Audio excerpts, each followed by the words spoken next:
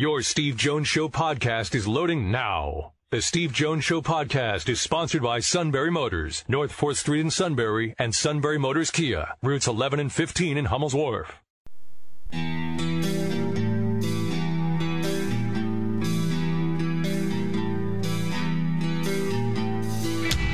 Sports talk where your voice counts. This is the Steve Jones Show on News Radio 1070 WKOK. Now, from the Sunbury Motor Studio, here's Steve Jones.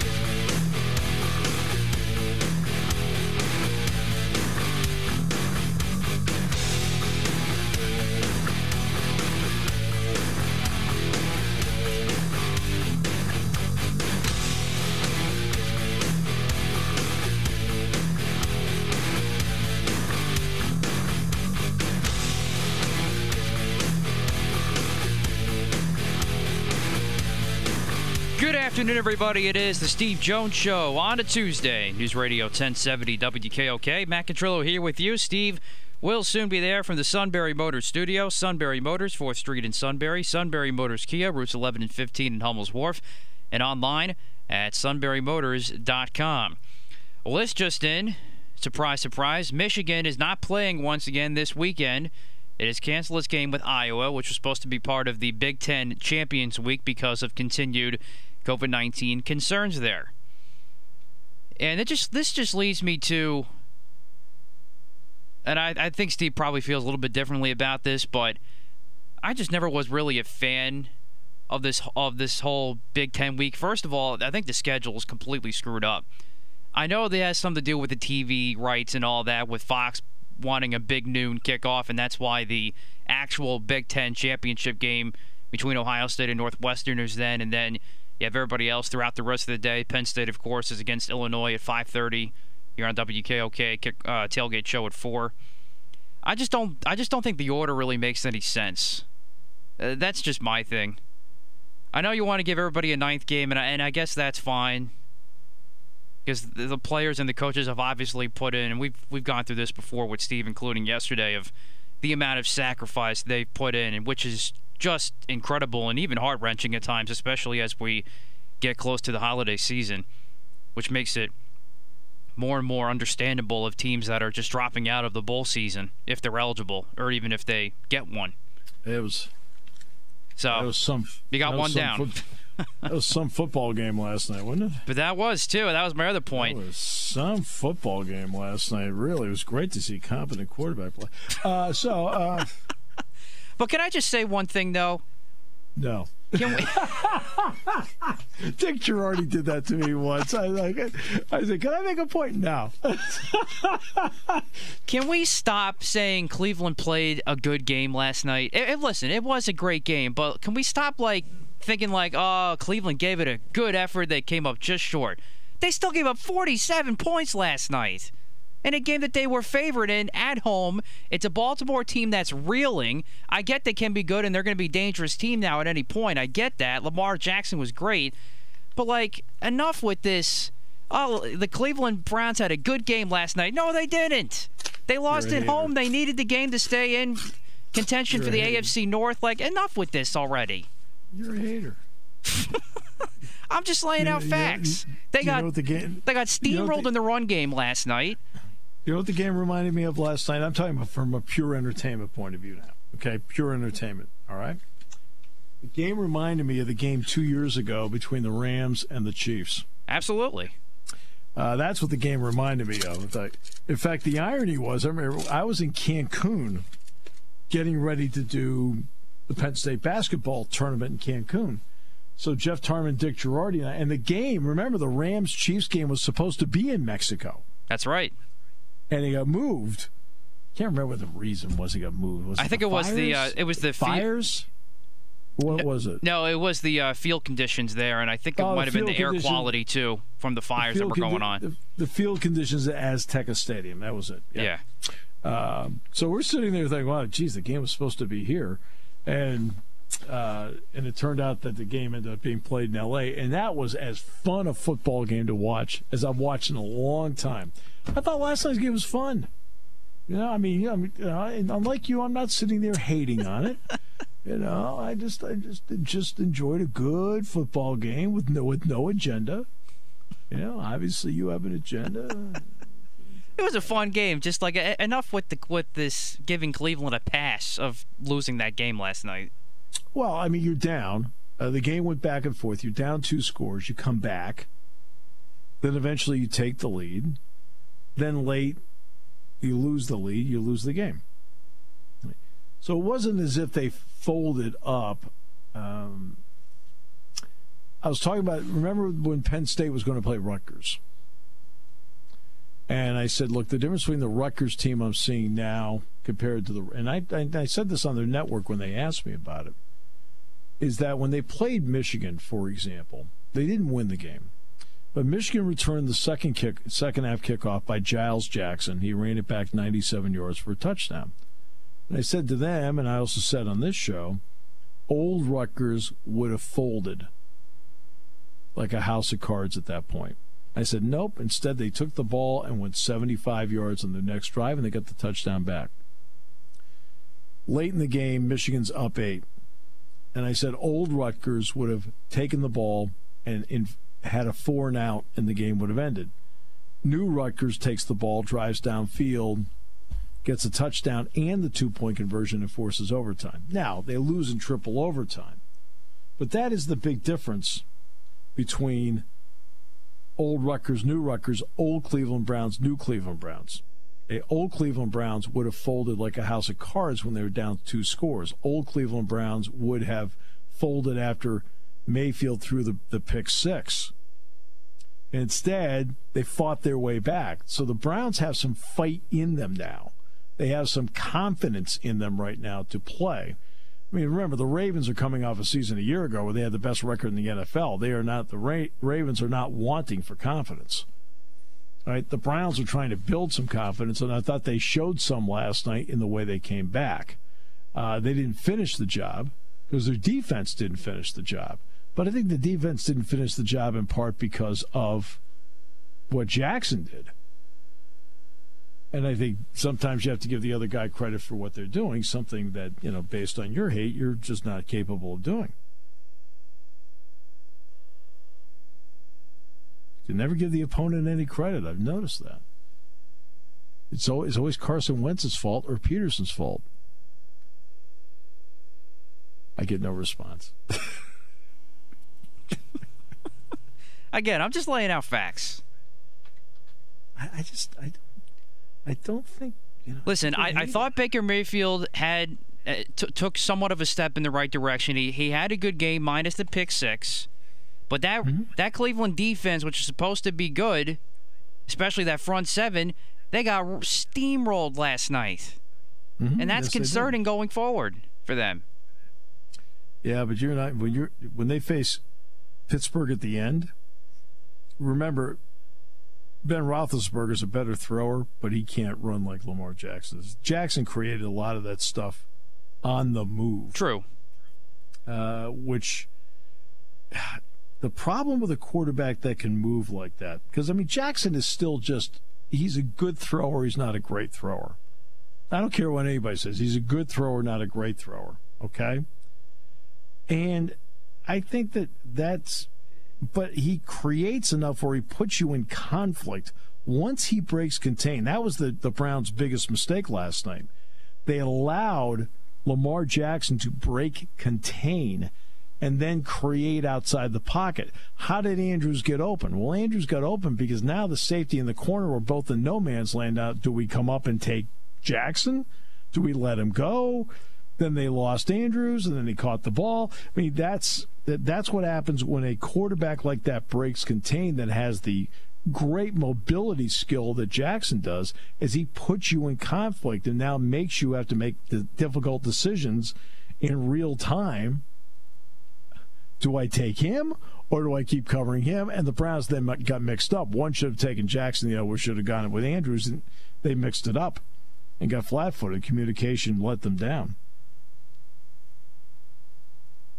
Yeah, and that's totally fair. It, it, was definitely one of those games where Lamar Jackson couldn't do anything wrong, and you want to put that in there. I, I I can get that to some degree. I can buy that to some degree, But just the way Cleveland started the game with that statement opening drive, mm-hmm. and then the way they came back, like you, you if you're going to be a contending team, which everybody thinks this Cleveland team is on the verge of becoming, you got to finish those games, especially against division opponents at home, and they still haven't been able to do it quite yet. They're a good team. They're a playoff team. They might no be offense. dangerous, but no, no offense, but what does at home mean this year? Well, that, true. Well, they had they had twelve thousand fans last night, but yeah, I, I get it. Yeah. You know, I mean, it's like, I mean, I don't know what home field means this year. I mean, I keep, I know I've made this example how many times, the Aaron Rodgers example. I mean, there's no way he goes into the Superdome and hard counts three offsides against the Saints. Oh, no question. I mean, that, and that only happens because you're in a pandemic and nobody's in the building.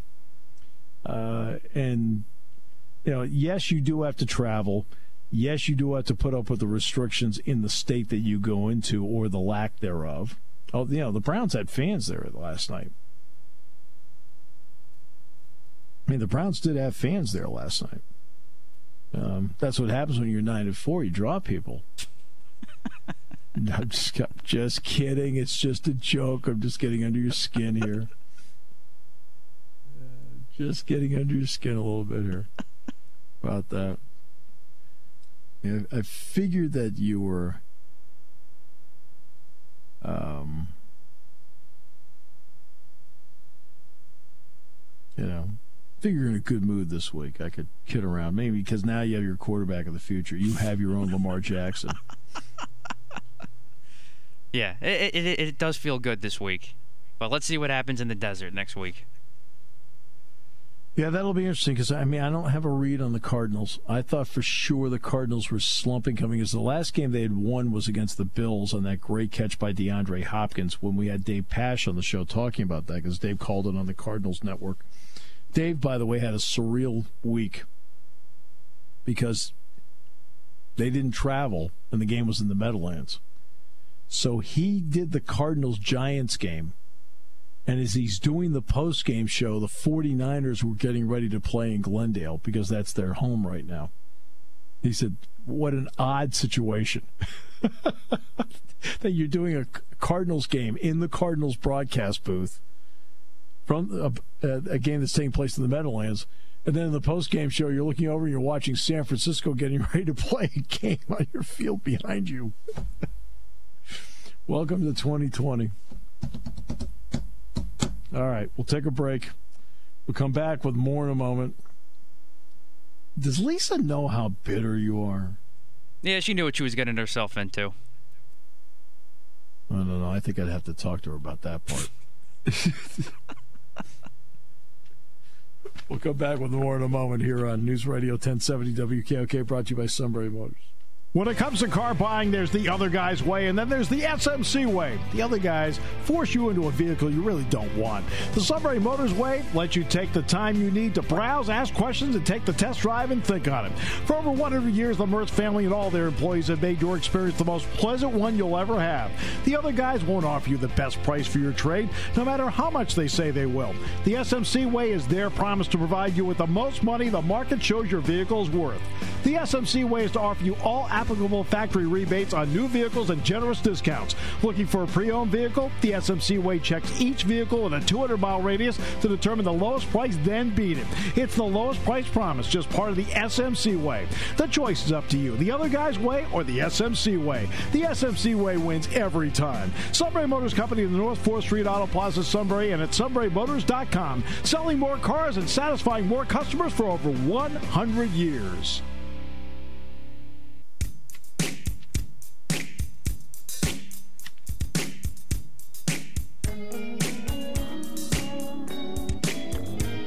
Figured it was a good time to take a commercial break because I just felt you needed to be calmed down.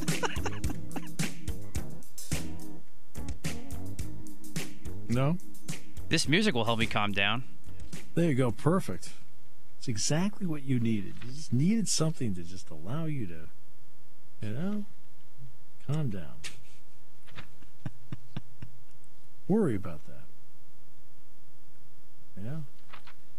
Uh, let's see. Uh, Iowa, Michigan is canceled.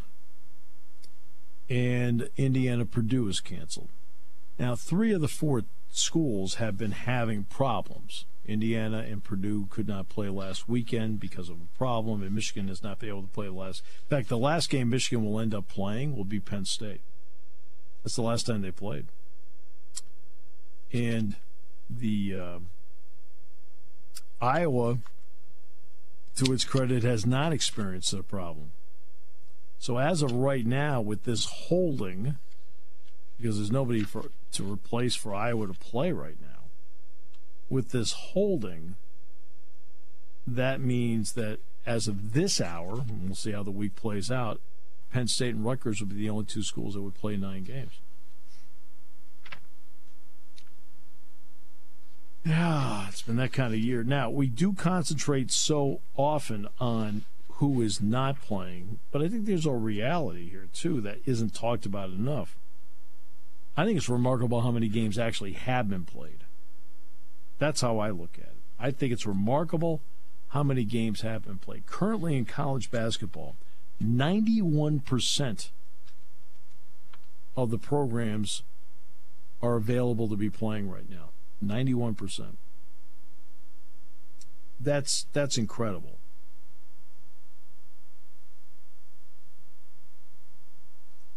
And that means obviously 9% are not. 91% is a pretty doggone good number. It's not 100, but 91% is a pretty good number. Most of the games in the SEC have been played. Most of the games in the ACC have been played. In fact, you know, you look at Pitt and Boston College, for example, who have opted out of bowl games, but they ended up each playing 11 games. They played full seasons. They didn't miss a game. BC and Pitt did not miss a game. And in the end, I don't think Alabama's missed a game. Florida hasn't missed a game. They may have had games moved. They may have had games moved. But in the end, they did play full schedules. The SEC and the ACC will be quick to point out that they don't think Ohio State did. Which uh, they would not be inaccurate they would not be inaccurate about them. Ohio State's about to play its sixth game of the season coming up against Northwestern. I believe that on that the fewest number of teams available to play in a Big Ten weekend, like available, because Iowa is is available to play, so they don't you know so they don't fall into this. I think the minimum amount has been 10. Most weekend, it's for the Big Ten, it's been 12 available to play. So the ability to play these games is far more remarkable to me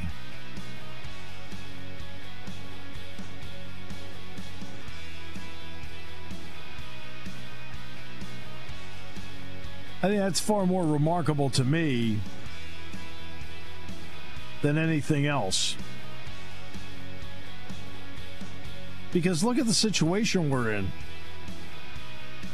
We're in a situation where, you know, as I tell you everybody you know, about my job, they said, "Hey, exciting week! You got these." You know, like I've had what I did what five games in nine days.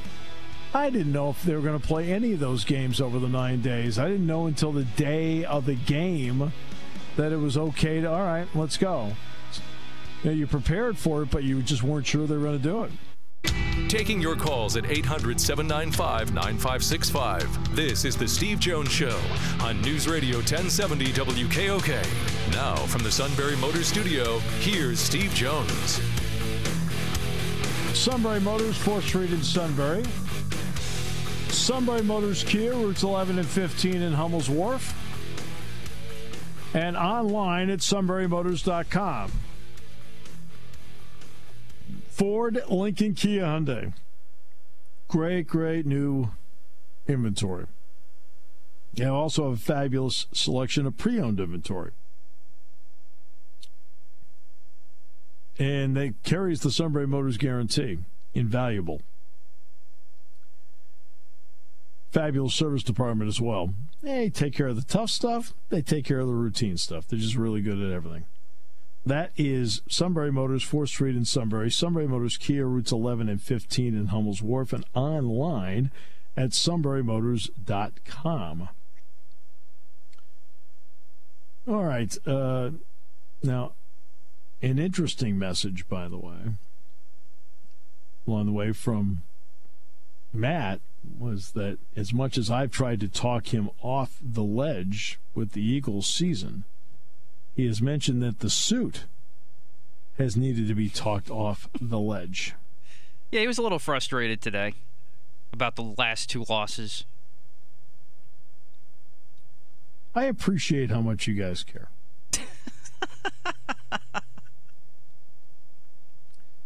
um, yeah, I, I do. I do. Um, I, I appreciate very much how much you guys care.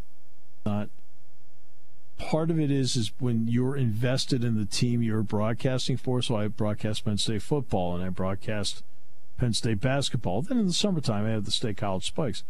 You get so invested in doing that, in in the winning and losing of it, that you don't get.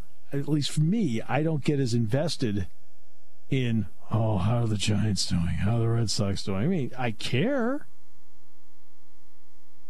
I mean, I do care, but not the way I used to. It's just me. Maybe I'm, you know, that'd be my fault, I guess, for for um, how we've gone about this. You know. Hey, uh, did you see our Facebook page? Uh, not recently. Clyde Whipple. Clyde Whipple sent a message to the Facebook page. And Clyde says, We are Penn State Warren Center. Right? Now, Warren Center is up in Bradford County. So I, I, you know, you know me, I never respond to these things, but I did on this. I said, "Wow, that's where my dad grew up, Warren Center." And Clyde Whipple, he says, "My father-in-law is Russell Jones." Well, Russell Jones is my dad's cousin, and one of the absolutely great individuals ever I've ever met.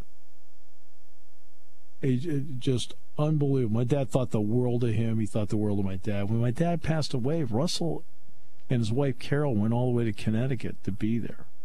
All right, this, you know, I'm going. That's 16 years ago, and he and Clyde just emailed me back that Carol, Russell's wife, turns 98 on Christmas Eve. How about that? Unbelievable. And Carol's an absolute terrific. My my father thought the world of thought the world of them and thus in turn, so do we. But I thought that was just interesting on our Facebook page out of nowhere. Uh, do we have Neal ready? We do. Well, Mr. Coolong, we can interrupt family time here. You're actually part of the family. Thanks for joining us. Great to have you with us. It's great to be here as always. I hope you guys are uh, taking adequate preparations for whatever snownomi nonsense is coming your way. I, I'm just watching a weather report now about city of Pittsburgh needing to start shoveling out now, and it's not even going to start snowing for another 12 hours. So uh, we're in full meltdown mode here. I'm not sure about you guys, but I hope all is well. Oh, we're doing fine here. I mean, you know, I mean, I don't, I don't know a snowblower. We're good.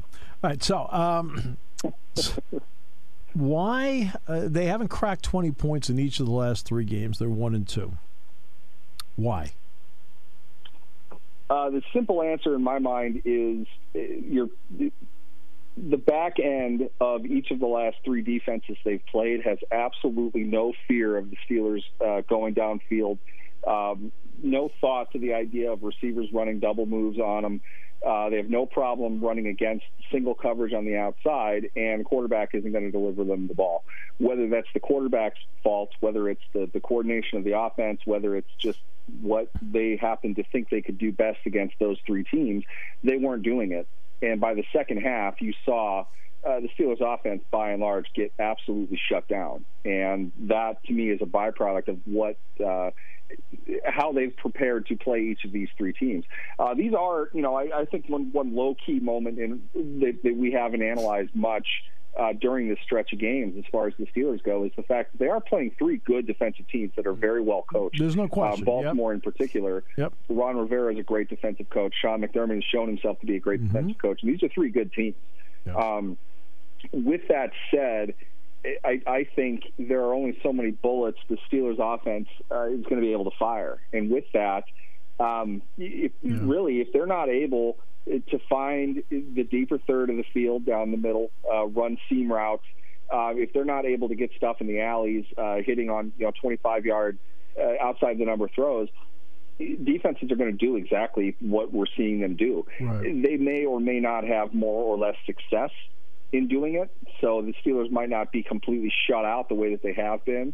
Um, not literally, but really just dominated for the most part. Uh, but that's the type of defense they're going to see. And this is easily the most winnable game the Steelers have left on their schedule. And it's weird to say, considering they've lost two in a row. Um, really kind of almost blew a couple games earlier in the year as well. We're starting to see that the price that they paid, I think, for a few of those close wins that they might have had early on in the season when these same types of issues were exposed, but perhaps not in time for their opponent to make them pay for it. Uh, that that absolutely should be the, the modus operandi of, of, the remaining opponents that they have. Uh, is Cincinnati good enough to do that? I don't know, but they, they absolutely should. If they can get in uh, the Steelers' receivers' faces and not let them get down the field and continue to attack uh, inside and not let them cross the way they have been all year, and tackle the catch. Uh, we've seen that they're going to have some success. Uh, what is Diontae Johnson's problem? Because when he when he catches it, he's spectacular, but he doesn't always catch it. Yeah, but absolutely, but um, I I don't know. I, I, kind of jokingly referred to this uh, this week on social media, saying if you were to combine the Steelers receivers with notoriously the worst hands that fans can remember, Limas Sweed as well as Donte Moncrief. Oh my goodness! If you put if you put the two of them together, you have Diontae Johnson over a, a five quarter stretch. Yeah. Their entire careers combined equal what he's done in a five quarter stretch at, at whatever point over their last three games. Right. It's it, it's obscenely bad. I mean, you really, you know, nobody but Diontae Johnson would be getting as many opportunities as he's gotten. And a large part of the reason why he has is because of the offense that he's in. It's not one that is, is looking for an all route kind of receiver. They're running the same stuff over and over again. And just logically, there's no reason he can't catch the ball. I right. mean, the, the second one that he dropped uh, uh, against Buffalo, um, he caught the ball. He was bringing it in when he dropped it. So now he's finding new ways to lose possession of the ball. It doesn't make sense. Um, I, I can say this: Mike Tomlin's not going to wait long for him to, to introduce the fumbling stage of his career after he does secure the catch, uh, losing it that way. He's not going to be around a whole lot longer if it continues. He, I don't think he has another drop in him uh, simply because it, traditionally I, I, don't think that we've ever seen an NFL receiver drop as many passes as he has uh, over three games. It's baffling. Um, it, it's it's not a question of technique in my mind. Um, every broadcaster and and uh, armchair analyst is going to say the same thing. He's not looking the ball in. He's he's running before he catches it. They do that all the time, and they still manage to secure the ball. Sure. like I said, you watch the the second one uh, the ball is right in the triangle of his hands. He he's got it exactly where it's supposed to go.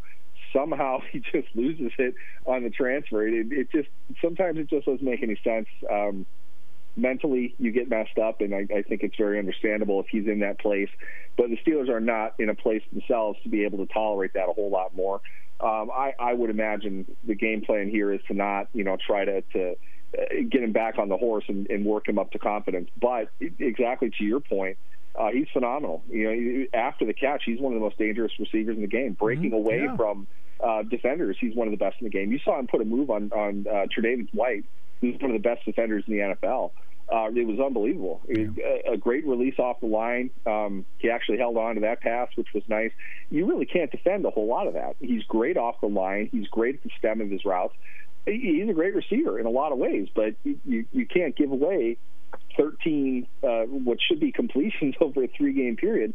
That's unheard of at, at any level. Um, it really, it, it's it's just an extremely frustrating situation. Uh, he's just going to have to block out and, and, figure out a way to just hang on to the ball, even if it's just the, the five yards uh, that he gets on the completion, and he's not adding his standard, you know, five, six, seven after the catch. Um, whatever he has to do just to, to secure the ball and kind of keep, you know, the, hopefully keep the chains moving down the field is going to be a huge benefit to the Steelers in, in an offense like you pointed out that's averaging what 15 and a half, 16 points a game. It's not going to get it done in what's really kind of a, a, a must-win game for them uh, against a Bengals team that you know you don't know what you're going to get with them. So it, it's a good time for a, a slump-breaking kind of game, um, and we'll see if he's able to do that. Which uh, brings me to the Bengals game for a moment. Uh, I don't think I would have said this a month ago, but how important it is for, is it for them to win just so they feel the the, the moment of winning again? I think it, it, I hate to look down on an opponent. And I know that certainly the way that they've played the last three weeks, they don't have the luxury of looking past anybody. It doesn't matter who they are. It doesn't matter who they pull out of the crowd to, to play quarterback uh, for the Bengals next week the Steelers absolutely have to win this game for a variety of reasons. I mean, you, of course, you want to win every game that you play. Uh, they need to clinch the division and put Cleveland away and make sure that that Week 17 game does not matter. Um, they need to get their mojo back. They need to be in a position where they feel like they can win games again. And in many ways, I think there were stretches of time in which they were up on the Bills, and it, it would have been kind of a, a a, a, gradual descent, a gradual ascent into victory, but they come out uh, early in the third quarter and they, got stopped. Um, they're a team that, that's good enough to beat anybody in the league. We've seen them uh, demonstrate that ability, uh, getting the confidence, and finally, for for the first time maybe this season, outside of that, that first Cincinnati game, put together four quality quarters of play in all three phases of the game. That would be a nice thing to have entering a, a, a very brutal stretch. Um, certainly against the Colts, that's a playoff bound type of team. Um, Cleveland is a playoff team, whether or not they're playing for anything legitimate in Week 17, and then they're most likely going to have a, a, game in the first round of the playoff. They're playing good teams from here on out, so this this is a key game for them.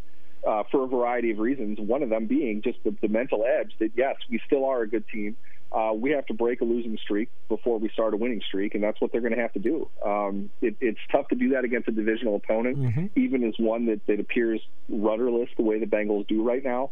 Uh, they're, they're still going to have to show up and work and you know actually catch the ball and do the things that they need to do that are associated with winning football games.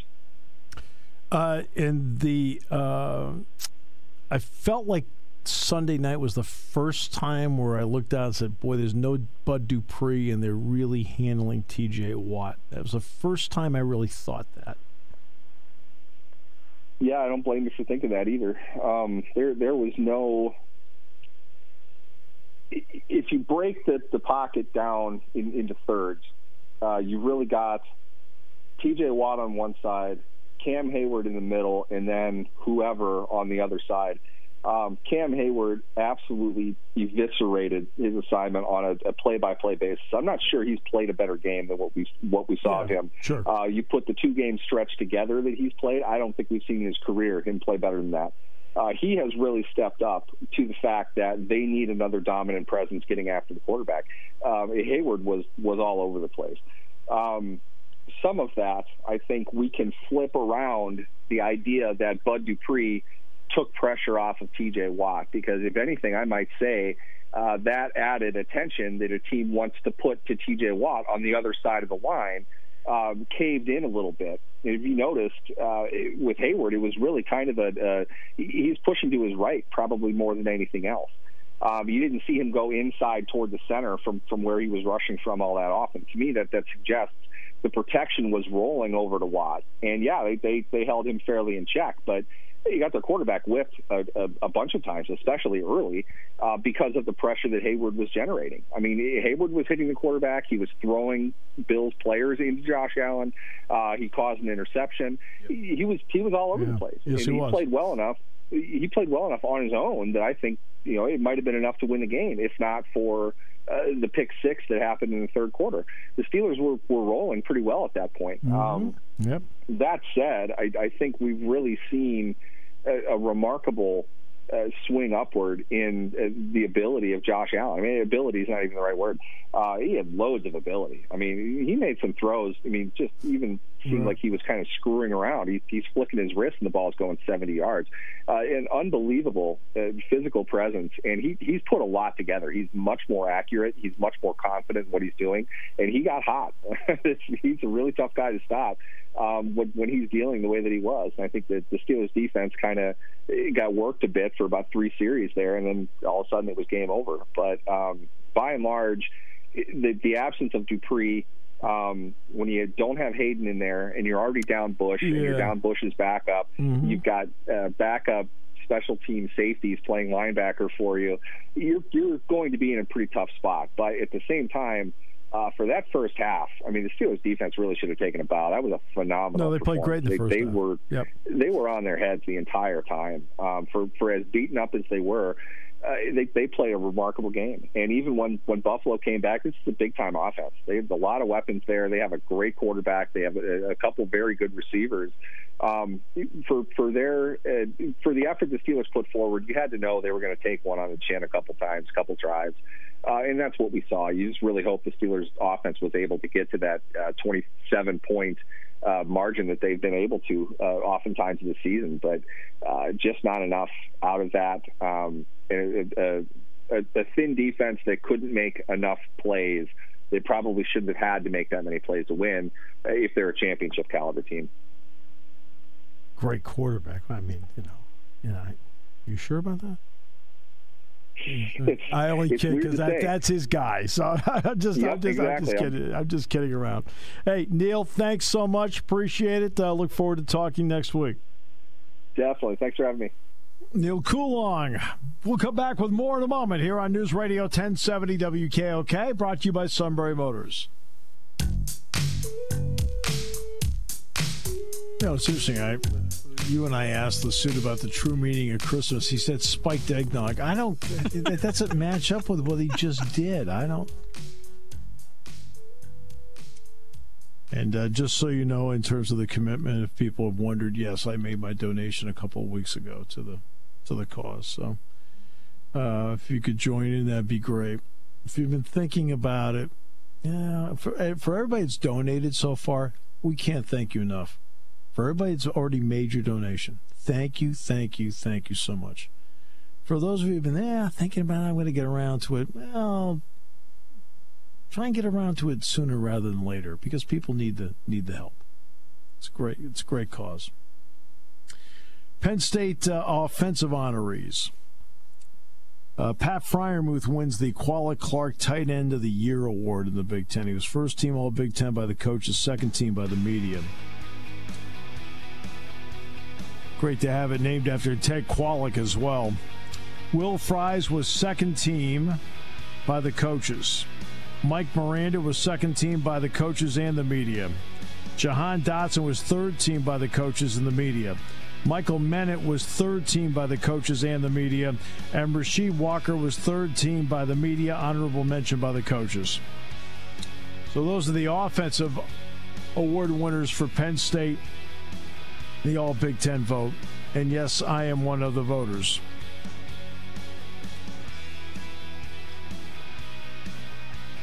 And no, I'm not allowed to reveal how I voted. All right, next hour.